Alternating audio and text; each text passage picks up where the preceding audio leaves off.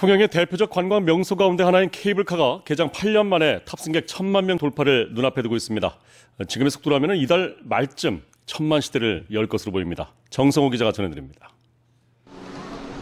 주차장은 전국에서 온 승용차와 관광버스로 가득 찼습니다.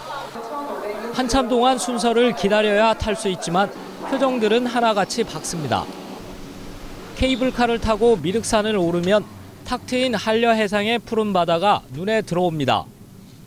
첫 번째로 케이블카 먼저 검색 순위로 올라와 있는 상태고 직접 와서 보니까 뭐 소문 못지않게 참 경치도 좋고 바다가 보이는 게 한눈에 들어오는 게 참 좋습니다. 나들이 철인 요즘 하루 3, 4천 명이 케이블카를 찾고 있습니다.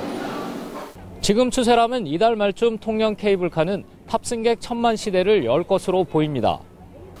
지난 2008년 문을 연 통영 케이블카는 2011년 135만 명, 2013년 137만 명, 지난해 136만 명 등 연간 탑승객 수가 꾸준히 100만 명 이상을 기록하면서 개장 8년 만에 995만 명을 넘어섰습니다. 이렇게 단기간에 천만 명이 달성된 것은 전국에서 우리 통영 케이블카가 아, 처음이지 않나 그렇게 생각합니다. 통영 케이블카는 다도해의 비경을 비롯해 주변의 관광 명소와 먹거리가 풍부한 점이 성공 요인으로 꼽히고 있습니다.